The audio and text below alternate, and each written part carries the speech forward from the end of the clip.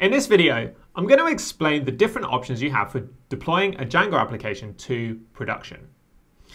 Now, this isn't going to be a hands-on video. I'm just going to explain to you the different options that you have at a high level so that you can look into each one in more detail and you can choose the one that is right for your particular project.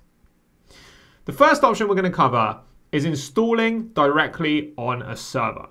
So this works by creating a virtual server, typically a Linux server, and then installing all the dependencies that you need for your Django application. So this could include things like uh, Nginx or Apache web server, uh, Python, the correct version of Python that you need, and then a Python virtual environment, and then you just install your project on that server and you run it.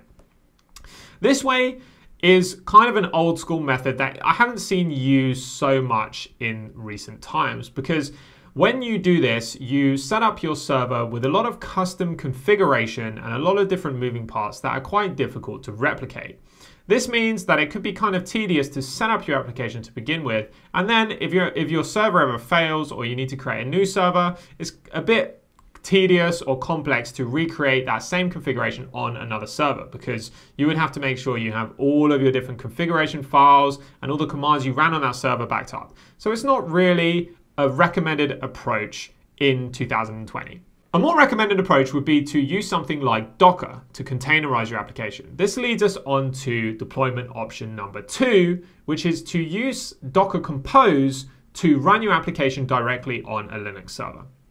The way this works is you would set up a Linux server, just like you would do for option one, except this time, instead of actually manually configuring all of the different applications and installing them directly on the server, you would run your service using Docker Compose. So you create your application and you set it up to have all of the dependencies installed in Docker, and then you simply run the Docker Compose file on the server.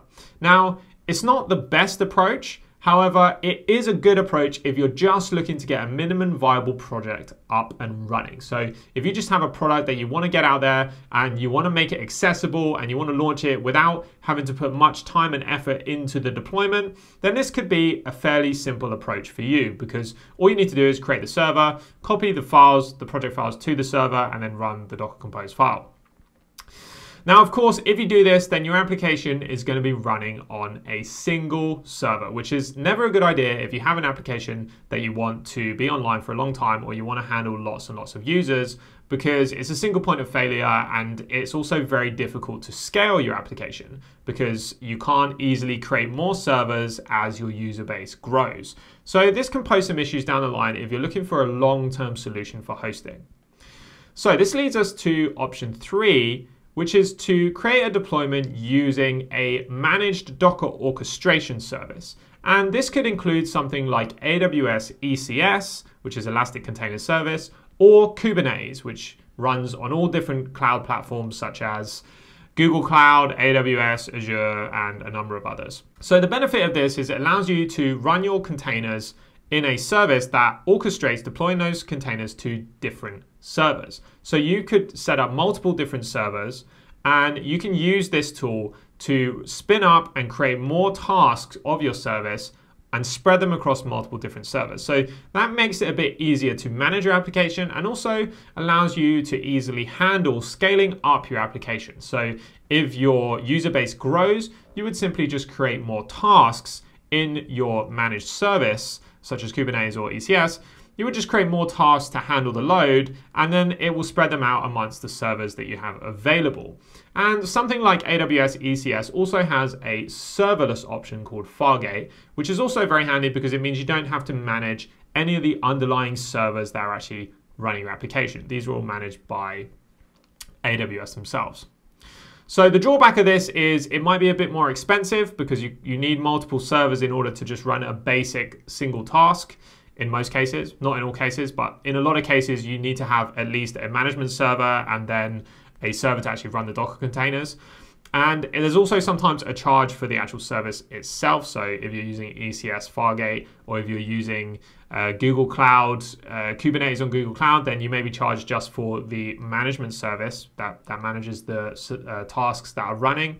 And it's quite complex to set up. So it's not the most straightforward uh, method of deploying your application, but it does allow you to create a more scalable long-term solution. That leads us to the fourth option, which is to use a serverless technology. So a good example of this would be something like uh, Google App Engine. So this allows you to run a totally serverless application in the cloud. Now, the benefit of this is that you don't need to manage any infrastructure at all. So as the name suggests, it's serverless. So there's no servers for you to manage or maintain. This removes a lot of overhead from managing your application because if you're using something like uh, Google Cloud, then Google will manage all of those servers for you. You know that you have a very scalable and secure architecture that it's running on, and you don't need to put any time or effort into managing the servers.